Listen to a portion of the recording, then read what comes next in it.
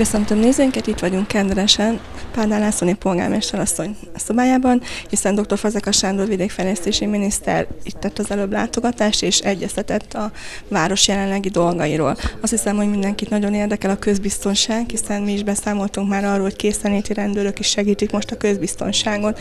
Gondolom, hogy önöknél is ez volt az első szempont, amiről beszéltek. Azért jöttem Kendes, hogy tájékozódjak a város aktualitásairól, és örülök annak, hogy a készenléti rendőrségnek a fokozott jelenléte az segített a közrend közbiztonság helyreállításában.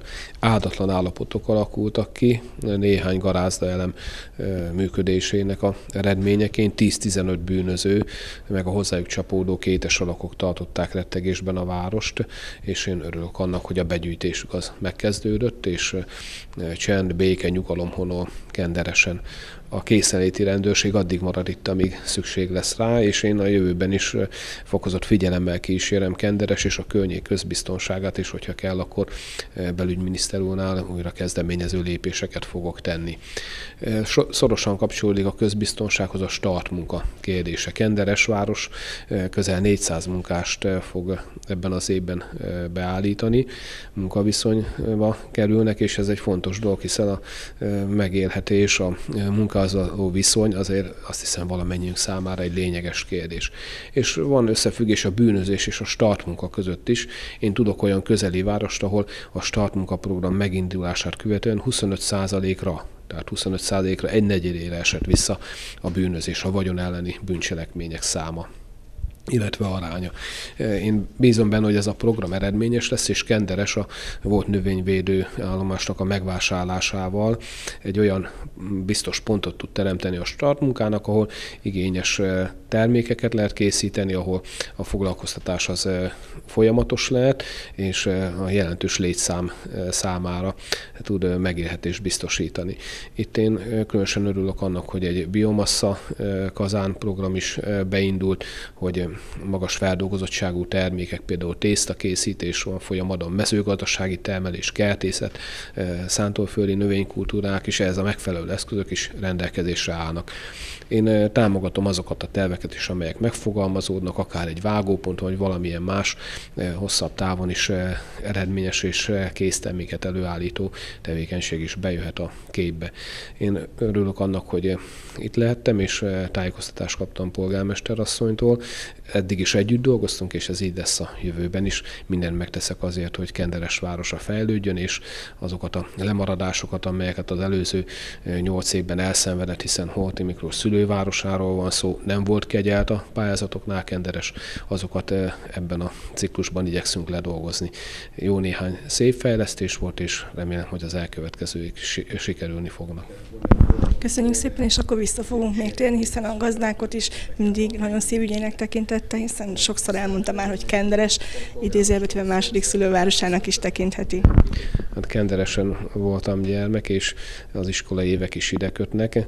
Itt eh, nagyon komoly mezőgazdasági tevékenység folyik, kiváló gazdálkodók vannak, és most az időjárás is kegyes volt hozzánk eh, az itt élőkhöz is. Én a gazdákkal együtt bízom abban, hogy ez az esztendő jó lesz, meg segít bennünket a Jóisten, és szép termés lehet majd betakarítani.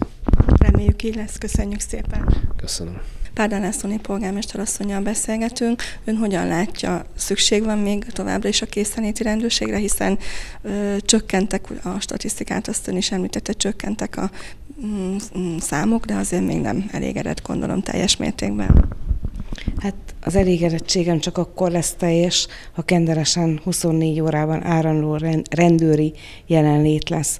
Most per pillanat ez a készenléti rendőrséggel megerősített szolgáltat jelenti, amire úgy gondolom, hogy még a jövőben is szükség lesz. Ami a helyzetet egy kicsit javíthatja, az az, hogy a jövő héttől beindul a Start munkaprogram mezőgazdasági projektje. Ebbe a projektbe 120 főt kezdünk el foglalkoztatni, és ez a nehéz anyagi helyzet, ami a családoknál fennáll, az egy kicsit enyhülni fog, és valószínű, hogy ez egy kicsit visszafogja a bűnözést is. A Start munkaprogram akkor hamarosan indul. Mi minden lesz, amivel tudnak segíteni ezek ezeken a családokon? Hát maga a foglalkoztatás, hisz ezek az emberek nap 8 órában hivatalosan foglalkoztatva lesznek. A mezőgazdasági projekten belül, amit említettem, 120-an kezdik el a jövő héttől a munkálkodásukat. Saját földterülettel rendelkezik az önkormányzat. Már tavaly is történt konyakerti növények termesztése, illetve némi gabona is termett, de az idén nagyobb mennyiségben, nagyobb területen fogunk gabonát termeszteni, hisz ennek kapcsolódnia kell a most beinduló állattenyésztéshez is, hisz sertéstartással, tojótyúk állomány beállításával, jó tenyésztéssel is fogunk foglalkozni a 2013-as tart munkaprogramban, és ez csak a kezdet, ez, ezt a jövőben szaporítani szeretnénk, és nyilván az állomány létszámát növelni. Tehát ehhez mind szükséges ugye a, termőföldek nagyságát növelni, illetve az ott termelt gabona mennyiségét növelni. És hát a, tavaly beszéltünk már hogy tésztaüzem is van, tehát a központi konyhának az ellátását is nagyban segítik. Ezzel is egy önállátás felé indult el a település. Szó volt korábban egy piac építéséről is, erről tudunk-e valami információt mondani?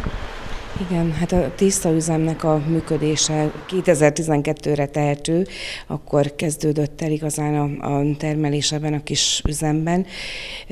Úgy tűnik, hogy, hogy beérett a gyümölcse ennek a célnak, és az idén már egy tészta szárítógépet is fogunk vásárolni ezt is a Start munkaprogram keretében, amivel növelni tudjuk a, a, a tészta mennyiségét, hisz eddig nagy gond volt, és ez visszafogta egy kicsit a termelés, hogy a szállítás nem volt szakszerű sem, meg, meg elegendő hely sem a szállításnak. Úgy tűnik, hogy, hogy van piaca most már a tésztánknak, nagyon örülünk, hisz picit azért fenntartásaink voltak, hogy, hogy vajon, vajon a fölösleggel mit tudunk csinálni. Nyilván elsődleges szempont az, hogy önellátása termel termeljünk, de a, a konyha, amit felhasznál, azon túl azért van fölösleg, és vannak már olyan településeink, ahol az ő konyhájukon is a kenderesi tészta fő. Végezetül csak azt szeretném kérdezni, hogy beszéltünk korábban arról, hogy főkapitány úrtól is kértek segítséget a közrend fenntartásához. Itt elkezdték a mm, rendőrség épületének a felújítását is, tehát gondolom ez is mindahhoz kapcsolódna, hogy hosszú távon szeretnénk megoldani a rendőrség kérdését azért. Így igaz. Hát visszatérve a start munkaprogramhoz, ez a tényleg az igazi értékteremtő munkaprogram. Én nem azt mondom, hogy még nincsenek hiány, vagy már nincsenek hiányosságai, de összességében nem hasonlítható össze az előző közmunkaprogramokhoz. Tehát itt a valódi értékteremtés valósul meg. A rendőrségi épületre kérdezett, amit ugyancsak pályázat útján nyertünk a felújításra, 10 millió forintot belügyminiszter úr jó voltából. Én úgy gondolom, hogy ez is egy segítség ahhoz, hogy itt állandó rendőrünk legyen, hisz egy, egy mai igényeknek megfelelő rendőrségi épületben dolgozni, vagy a jelenleg itt, ha valaki látta volna, nyilván nem egy csábító munka lehetőség. Én nagyon bízom abban, hogy a határidőre, határidőre be fog fejeződni a rendőrségi épület felújítása. Ezúton szeretnék köszönetet mondani dr. Fazekas Sándor vidékfejlesztési miniszter úrnak, belügyminiszter úrnak, országos rendőrfőkapitány úrnak, megyei főkapitány úrnak és Teleki Zoltán karcagi rendőrfőkapitánynak azért, hogy segítségünkre siettek, amikor bajban voltunk. Én úgy gondolom, hogy, hogy ez mind annak a jele, hogy, hogy nem hagynak magára egy olyan telep, települést, ahol mm, elkezdődik a baj. Én most is azt mondom, hogy ha összefogunk és együtt gondolkodunk, akkor talán sikerül végleges megoldást találni, és itt arra gondolok, hogy lesz rendőrünk 24 órában. Köszönöm szépen!